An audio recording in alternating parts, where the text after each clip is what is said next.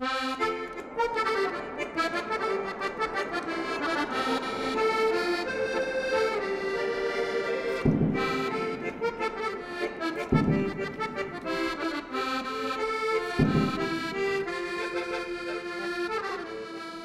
I would like to eventually see is a supersonic airliner that can reduce travel time by a factor of two for the average person flying. Uh, LA to New York, I believe it's like two, two and a half hours or so. Currently, we're limited by sonic booms. There's no regulation stipulating what kind of sonic booms can be projected over land. Right now, the rule is no sonic booms over land. The boom is actually a, a shock wave, a pressure change that if you think of the aircraft here, that emanates off the nose of the aircraft. Sonic booms are, uh, are really just another uh, sound wave, just like you're hearing my voice now. Uh, simply put, a sonic boom is uh, an acoustic disturbance created when an aircraft or actually any projectile breaks the speed of sound. It makes a loud crackling noise, which can sound like a very loud thunder. Loud, noisy. Got a call today from a woman who heard some sonic booms yesterday, said it frightened her dog. Wouldn't want to hear something that's as loud as a shotgun going off uh, rattle through your house. They're an annoyance, they're a disturbance.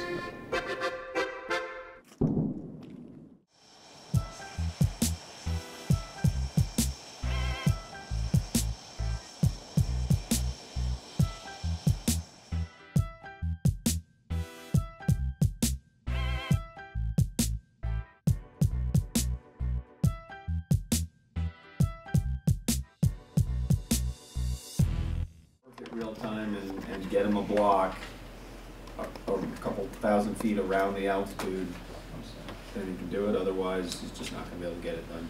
Unless the point, unless it's an east to west run or the point is far enough to the, uh, close enough to the base that there's room to do it. The Whisper project is, well, it's part of a, a bigger effort in supersonics that NASA's undertaking with the long-range goal to have business jets and airliners that can fly supersonic over the U.S., over populated areas, and not break windows or even disturb the population. This test in particular goes towards establishing that FAA limitation as to what sonic booms will be accepted, just like previous testing was done with airport noise and, and seeing the tolerance that could, that could be tolerated there, but we're doing the same thing with sonic booms. So we do analysis to figure out what, where the pilot needs to fly. Um, we can't do that until we have the weather of the day, because weather plays a huge part in sonic boom placement. The challenging part for the team is that the weather balloon was going up as we were briefing, and the scientists and engineers are getting the data now, and they're frantically doing all these calculations so that by the time I get out to the airplane, I've got these aim points that I'm flying at.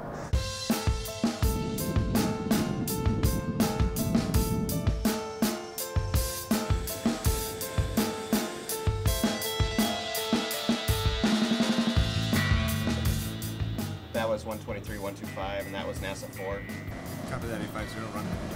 And that's 850. What were we reading in uh, the HUD for your mock?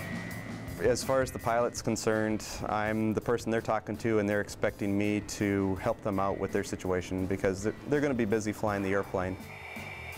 Yeah, flaps are up. The control room's telling me a target time that they want the next boom. So then I set up a big racetrack out to the northeast, trying to time my return so that the boom hits the ground at the right time.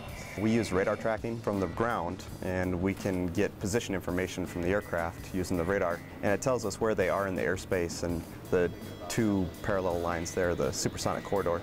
So it just gives us as a controller on the ground situational awareness on where they are.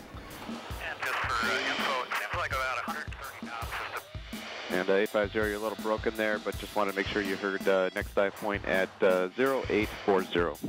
Again, we've got a, a steer point out there that I'm going to roll in and aim at. So actually about eight miles prior to that, I need to be at 49,000 feet and 0.96 Mach, so still subsonic. I'm going to roll, pull down 53 degrees nose low, so pretty steep. Somewhere in there, we're going supersonic. We roll out, and we're trying to time it so that we hit 1.1 Mach at 40,000 feet aimed at that dive point out there um, at 53 degrees nose low. Oh, and on a proper heading of 246 degrees. So if all that works right, and the weather balloon got the right data and the engineers did all their calculations right, then a boom of a specific uh, volume will hit base housing. At Whisper, we're trying to get a readback from the people on the ground to some kind of annoyance level. Um, we have about 110 subjects uh, in the Edwards Air Force Base population that have been outfitted with several different survey methods, uh, pen and paper, um, iPhone, Apple devices, and web devices. This research, we're looking for low boom signatures mostly. Different days and different times we're asking to do different levels of sonic boom, sometimes low, medium, or high. So depending on the overpressures from the booms, how annoying was this low boom?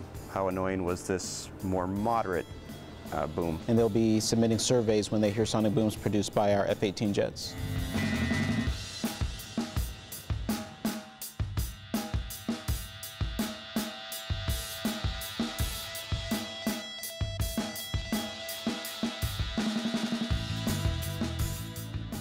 We have about about 14 or 15 different sensors out there to record the sonic booms. We have what we call our sonic boom field kits. They're, uh, they're remotely triggered sonic boom sensors. They're on light posts throughout the community. Um, they're powered by solar panel arrays, and then we have a microphone sitting towards the bottom on the ground uh, that actually records the sonic booms. Then we'll use that data, convert that into some type of metric like a decibel level, uh, and um, then compare that to what um, Jack and Jill heard in their houses uh, during the testing. What we have is a, another sonic boom sensor, this one protected by an all-weather doghouse. Once I get the call that the aircraft is starting that dive maneuver, um, I'll come over here and wait approximately two minutes or so uh, for the sonic boom to reach the ground. We got uh, pressure of 0.746. Uh, come over here and manually trigger it once I hear a sonic boom. NASA 2, this is NASA ground. Heard boom on the ground. Might have quieter than the last one. Um, it's pretty, pretty wet. We have uh, specific calls that they want us to make. Uh, most of it is so that the team on the ground knows when we're going to be rolling in, and then after that, when the boom is going to hit them, so that they make sure that the the instruments are all recording and capture that data. 30 seconds out, repeat 30 seconds. Copy airborne. Six seconds. Rolling in three, two, one, now. Copy, Mark.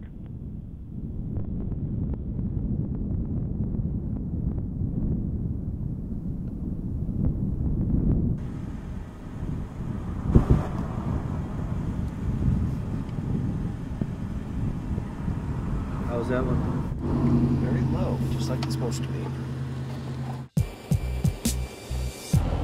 We're planning on going Mach 1.8, Mach 1.6, so the cruise speed is roughly twice as fast as, uh, as a typical subsonic airliner. We're trying to advance the technologies in supersonics to allow companies that are around today and that aren't even around today will be able to, to take the, the technology that we develop here and the, and the understanding of the physics that we do here today uh, to open up a whole new market for the future.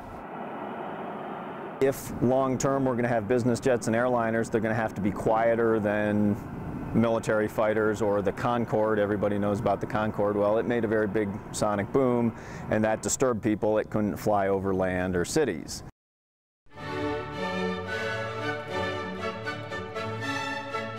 The sonic booms we're producing for Whisper are what we are simulating will be what we call low sonic booms or what the next generation of aircraft will, will produce. Performing research then becomes technology that's transferred to the commercial world. I think that at the heart is what NASA's role is.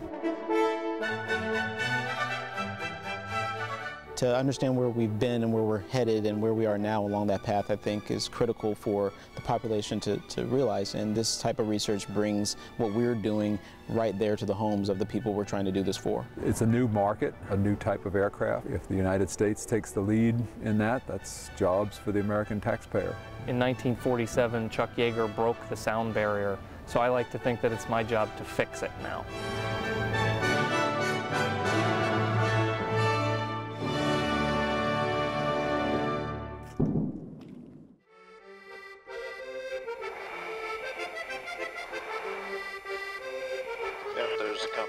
Compass rose behind him.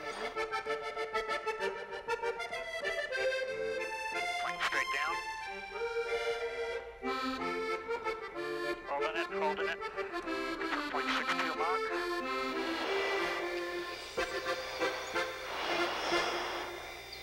I think we covered most of it. So I think I got to get out and uh, go make some booms.